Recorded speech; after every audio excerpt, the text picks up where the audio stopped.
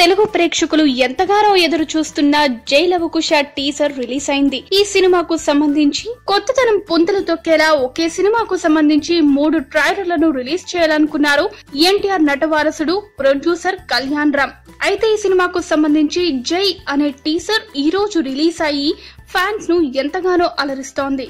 Young tiger fans ఎంతో ఆతృతగా NTR look కోసం ఎదురు చూస్తున్న తరుణంలో ఈ ట్రైలర్ రిలీజ్ అయి బంపర్ ఆఫర్ అందించినట్లయింది. గత సంవత్సరం ఇదే రోజున ఇదే నెలలో జనతా గ్యారేజ్ రిలీజ్ అయి ఇండస్ట్రీ హిట్ కొట్టింది. ఆ సెంటిమెంట్ని తీసుకుని ఈ రోజు రిలీజ్ చేశారేమో మరి. ఎన్టీఆర్ మొదటిసారిగా త్రిపాత్రాభినయం చేస్తున్న ఈ సినిమాలో జై క్యారెక్టర్ విలన్గా అనిపిస్తోంది. ఇప్పటి వరకు ఏ సినిమాకు దక్కనని లైక్స్ ఈ సినిమాలోని జై టీజర్కు దక్కింది.